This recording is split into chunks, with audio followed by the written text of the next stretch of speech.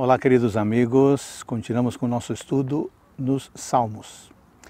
O livro de Salmos revela emoções humanas que mostram a sabedoria de Deus e como Deus opera em cada escritor. O capítulo 56 mostra a expressão de confiança em Deus que vence todo o temor existente na terra. Esta oração de Davi foi feita no momento em que foi capturado e levado perante Aquis, rei de Gate. Vemos que Davi, estando longe de sua cidade natal, decidiu ficar em comunhão com Deus, apesar do momento difícil que estava passando.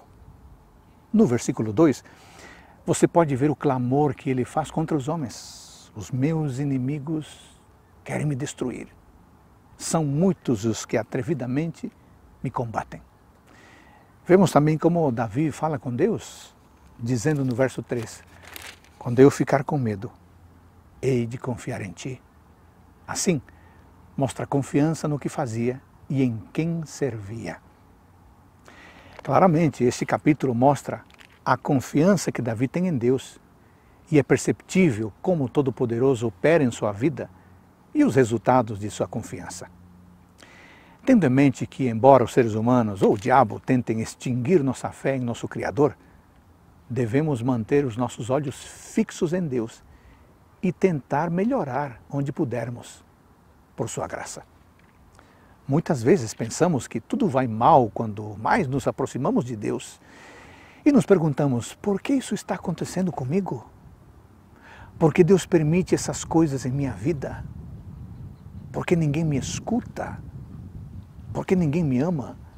Essas e muitas outras são as perguntas que cada ser humano alguma vez se faz quando está sozinho ou quando passa por uma situação difícil. O que Davi faz é o mesmo que nós, como seres humanos, devemos levar em conta. Que em nossos momentos mais difíceis podemos nos aproximar do Criador, aquele que dê sua vida por nós. Não importa o que esteja acontecendo, não há ninguém melhor que Deus para resolver os dilemas que nos roubam a paz e que nos roubam a calma na vida devemos ter em mente que a cada passo que damos, podemos imitar Davi, que caminhou com Deus e demonstrou sua confiança nele, não nos homens da terra. Davi clamou ao Pai Criador e agradeceu por tudo que Deus fez por ele. Hoje, Deus convida você a depositar a sua confiança nele. A proximidade que temos com Ele crescerá grandemente.